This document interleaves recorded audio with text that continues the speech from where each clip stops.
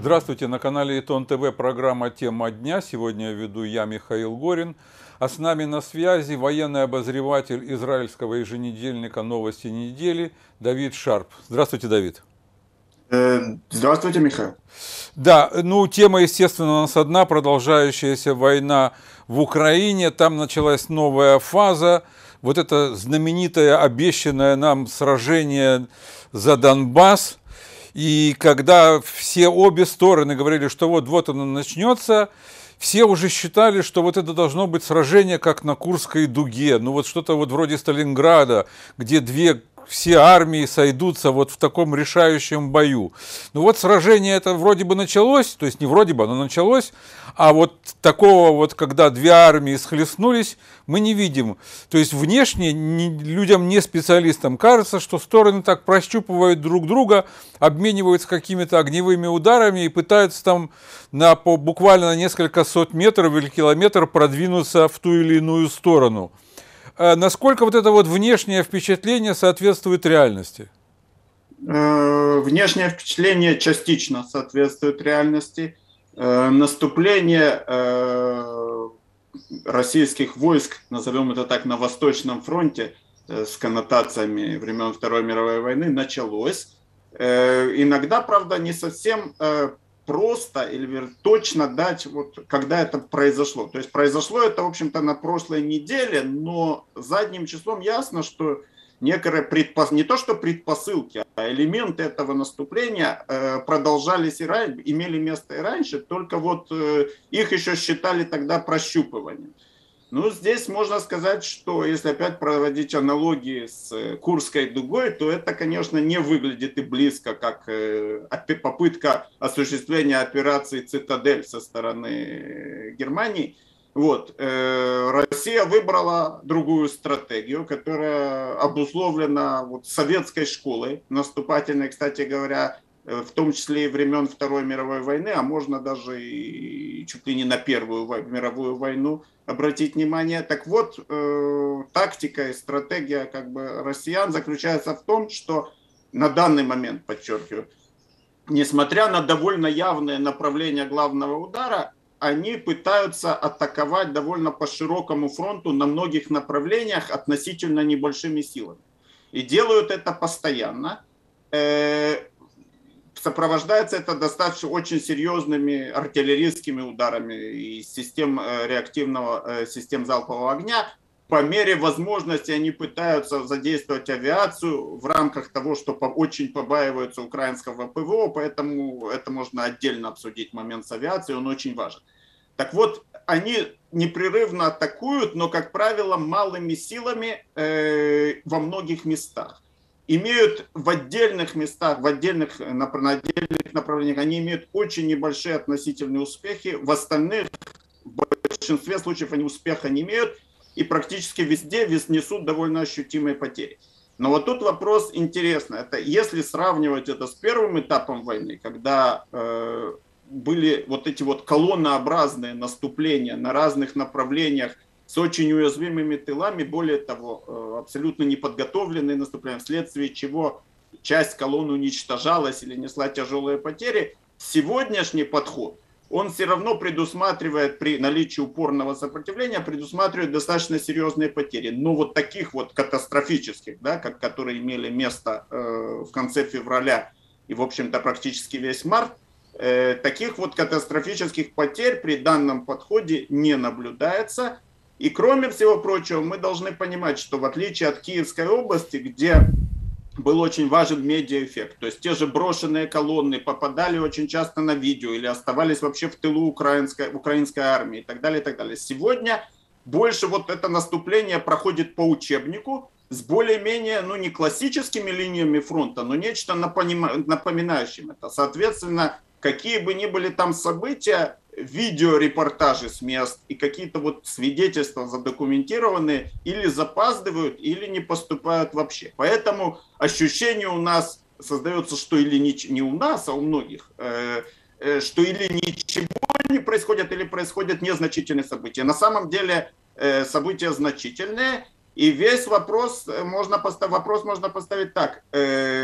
Хватит ли у российской армии ресурсов при такой тактике, а эта тактика очень изматывающая саму наступающую сторону, потому что она несет потери и не достигнув успеха, вынуждена действовать или теми же самыми частями, или вместо них задействовать резервы, когда вот эти части теряют боеспособность и будучи измотанными или понеся потери. Так вот, вопрос, насколько хватает этих резервов, а также резерва боекомплекта, который расходуется, запасов боекомплекта, которые расходуются очень интенсивно, вне всяких сомнений, это ключевой вопрос. И пока, пока российская армия Э, никаких серьезных успехов не достигла, это факт, и это, в общем-то, неудача. Опять-таки, время покажет, что будет дальше, мы должны исходить из того, что произошло. Из того, что произошло, наступление э, разворачивается неудачно, и успехов очень мало, и они э, мизерны.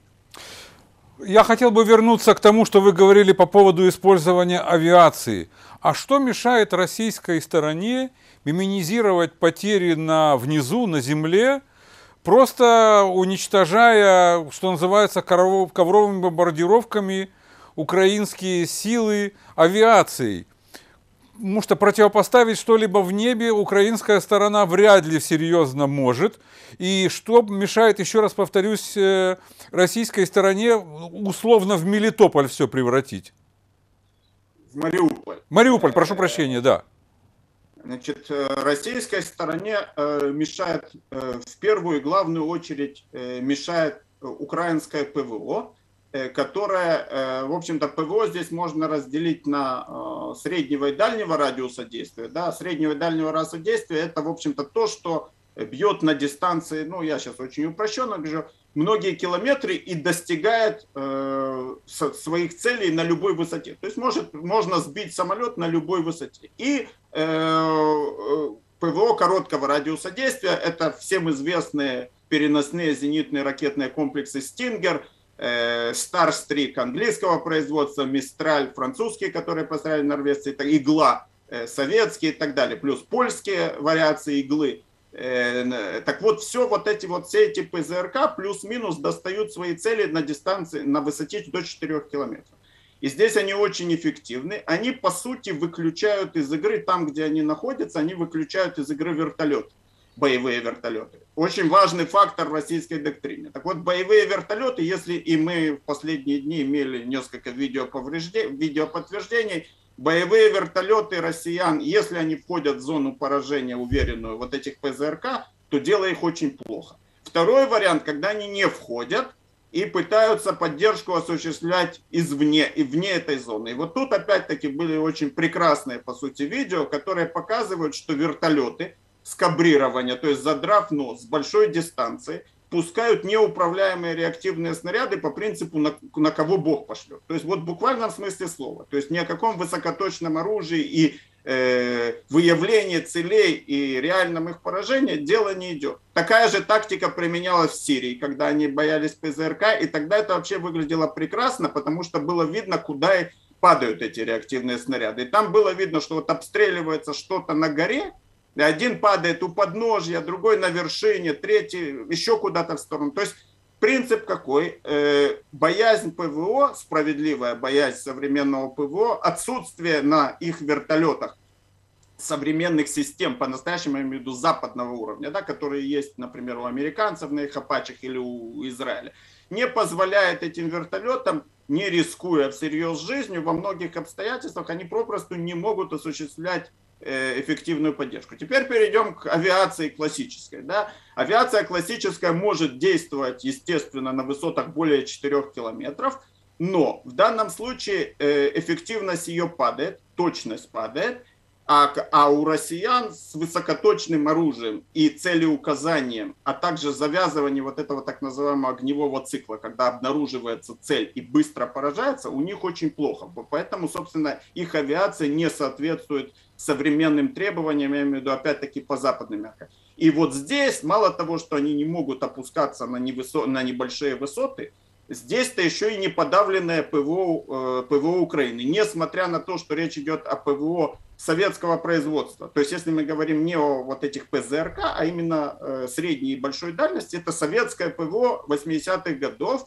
И тем более удивительно для многих, что Россия современной авиации, ну, производства э, уже нашего века, да, и вплоть до последних лет, не может справиться с ПВО советского, советского производства, с которым она, казалось бы, лучше, чем российские военные. Кто еще может быть знаком с таким ПВО? 80-х годов, подчеркиваю. Они с ним справиться не могут. С этим, собственно, и связано то, что российская авиация не действует. Я не имею в виду стратегические бомбардировщики, которые запускают крылатые ракеты с собственной территории, а я имею в виду самолеты, непосредственно действующие над вражеской территорией. Так вот, над центром Украины, над Западом российская авиация практически не действует. Она действует э, по той же тактике, которая слегка напоминает вертолеты. Опасаясь э, ПВО, пытаются атаковать передний край украинцев. И получается это у них, э, мягко говоря, весьма неважно. То есть эффективность этих ударов невысока. Иногда, конечно, она имеет место быть, но по большому счету решающим фактором э, авиация не является – и это ключевой момент в войне, потому что авиация это важнейший, э, важнейший аспект, в котором у России на бумаге есть перевес. Вы правильно сказали, что в воздухе над линией фронта э, украинской авиации действовать очень трудно. Я так понимаю, что эпизодически она действует, более того, эпизодически даже дальние рейды совершает.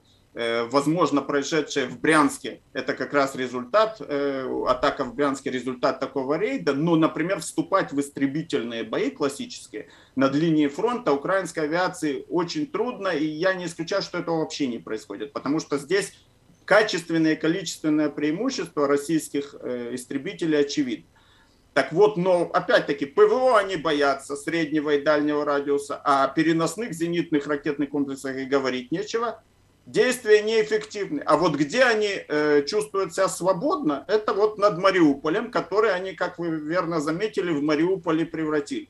В ныне, Мариуполь в нынешнем виде, а да. а именно разрушенный полностью город. И вот там, кстати говоря, использовалось нечто вроде так называемых ковровых бомбардировок, когда стратегический бомбардировщик Ту-22М3 Э, просто в горизонтальном пролете сбрасывает, не боясь никакого ПВО, а ПВО, способного достать российские самолеты в Мариуполе нету, особенно на большой высоте.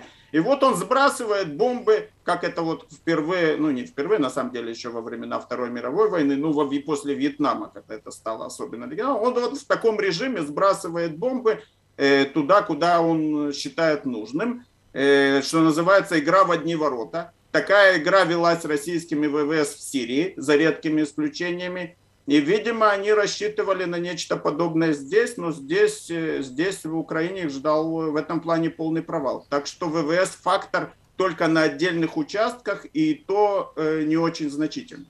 А я хотел бы тогда уточнить, э, а знаменитые крылатые ракеты, которые могут запускаться с большой высоты и с большой точностью, и могут запускаться с дальних территорий, в том числе с морского базирования? Э, да, это, это безусловно, вот все это мы наблюдаем с первого дня войны и по сей день.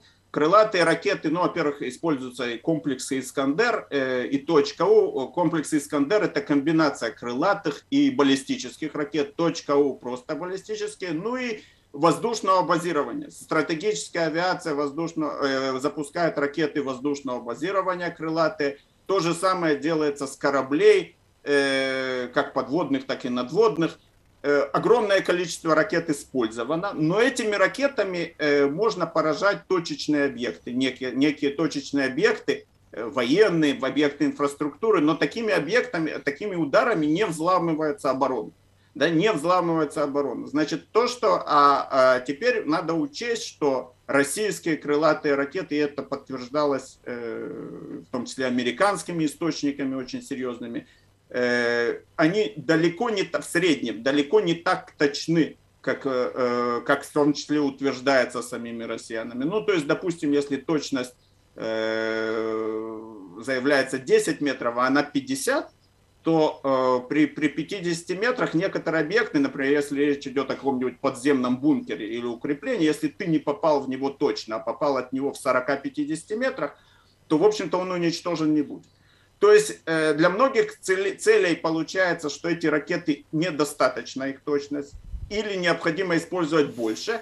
А кроме того, еще очень важный момент, огромный э, процент брака этих ракет. Это подтверждает Пентагон, это в свое время подтверждалось Сирии и так далее, и так далее. И вот, э, и, кстати, некая подобная ракета попала недавно в дом в Одессе, буквально на днях. Знаменитый случай. И тут только можно э, поразиться и удивиться. Неужели они выбрали своей целью Потому что в 40 метрах от этого дома никакого военного объекта, если, предположим, ракета была высокоточной, хоть ее собирались положить некий военный объект, в 40 метрах от дома никакого объекта военного не было, это видно на видео.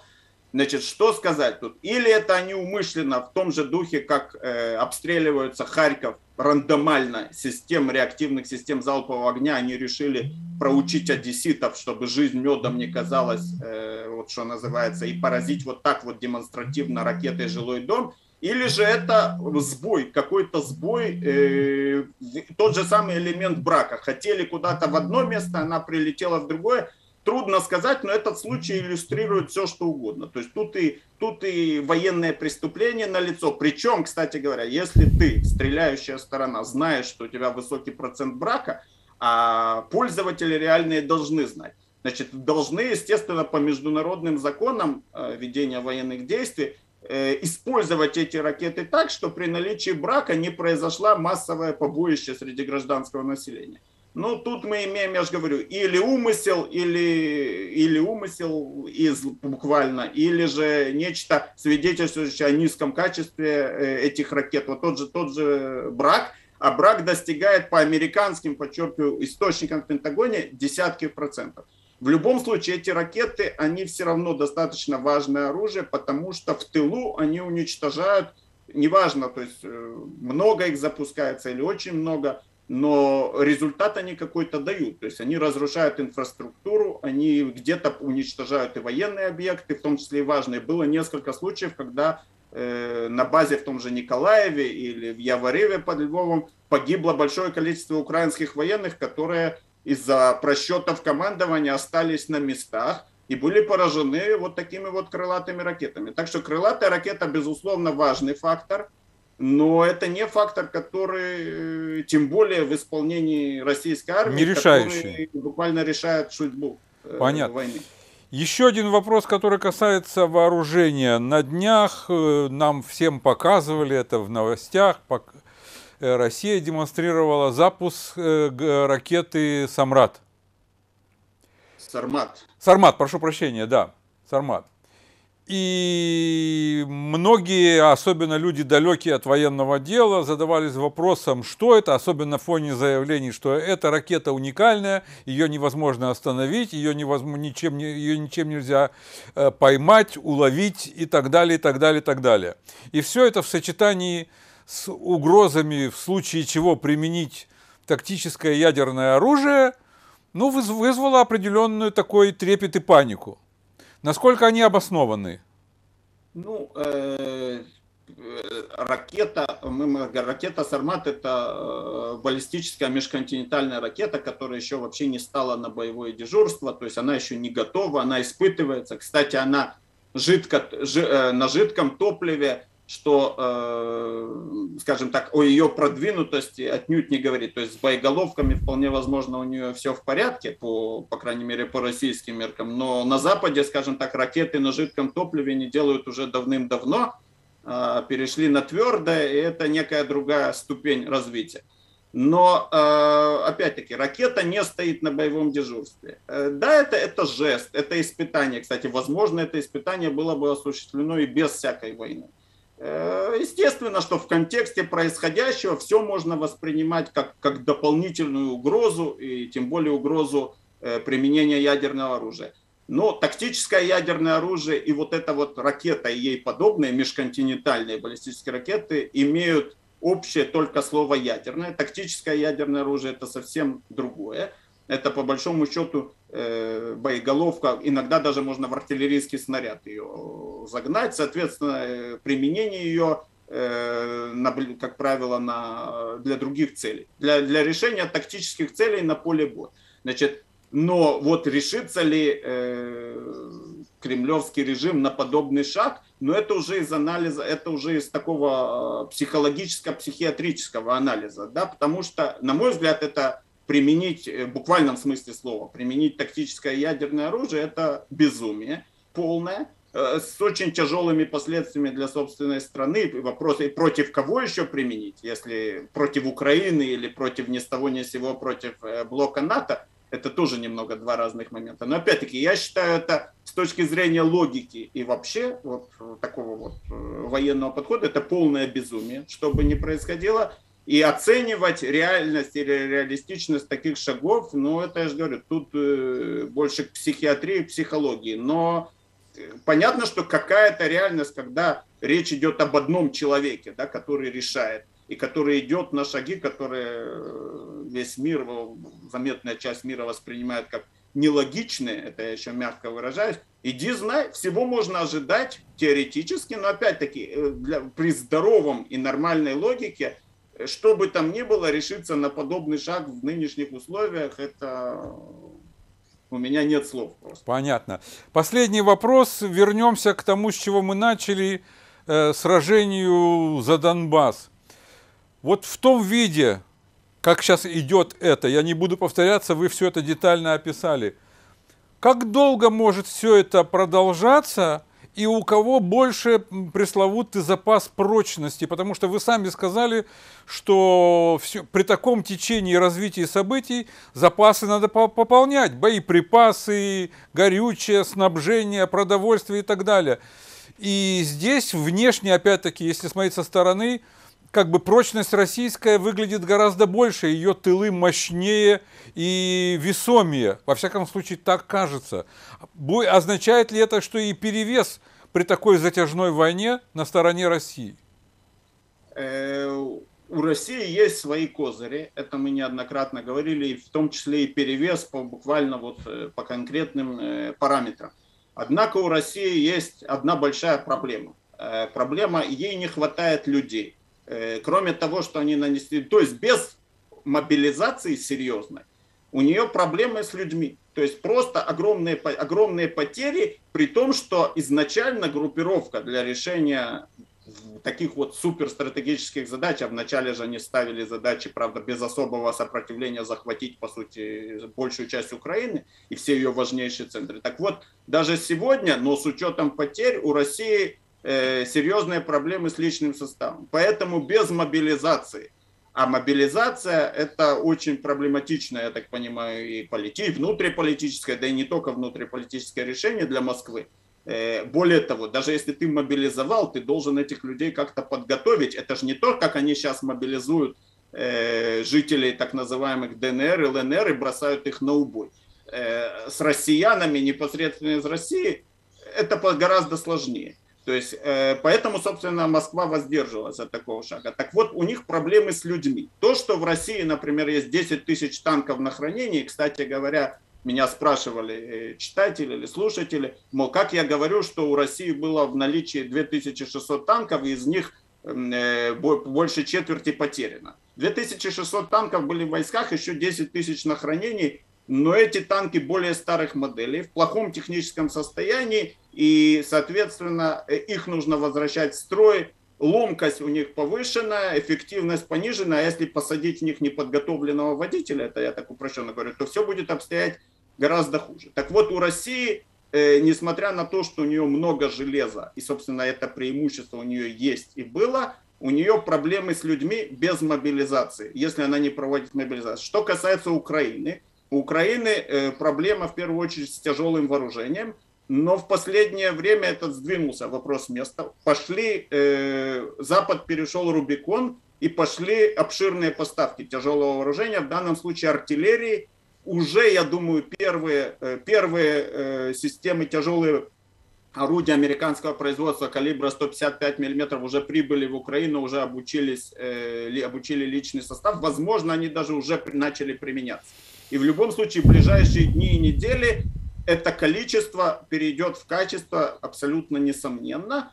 Украины в этом плане позиции укрепляются. И если Запад поставит э, еще некоторые системы, ну, например, вот к тем же орудиям, да, которые уже начали поступать и которые обещали европейские страны, например, к ним поставить высокоточные снаряды «Эскалибр» дальностью 40 километров. Так вот, наличие пары сот таких снарядов э, у украинцев и их э, успешное применение при наличии соответствующих э, разведданных может стать для россиян не то что неприятным сюрпризом, а катастрофическим сюрпризом. Да, вот таким снарядом можно легко, найдя, обнаружив, например, штаб армии, которые так уже не раз попадали под удар соответствующими результатами, можно, например, его уничтожить парой таких снарядов и так далее, и так далее. Так вот, качественно и количественно э, украинская армия наконец-то начала получать тяжелое вооружение. Но очень важно полный ассортимент, очень важно для нее овладеть этим оружием на должном уровне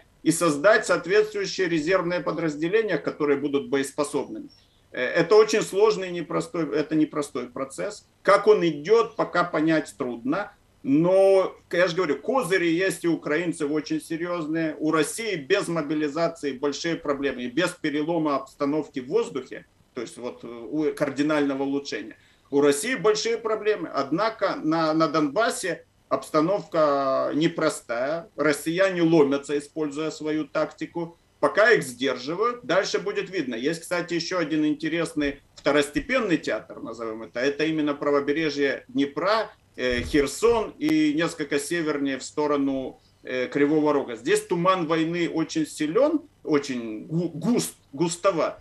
Но я осторожно могу предположить, что у украинских вооруженных сил здесь есть очень неплохие перспективы вплоть до изгнания э, россиян из Херсона, как это произошло с Киевской областью. Но здесь, я повторюсь, я тут осторожно предполагаю, география и кое-какое э, соотношение сил э, указывают на это, но тут пока рано делать выводы. Тем не менее, ситуация может быть интересной, она будет интересной, и, возможно, она здесь сложится в сторону Украины э, буквально ну, кардинальным образом, но все-таки торопить события не стоит. Не стоит, безусловно, тем более, что они очень тяжелые.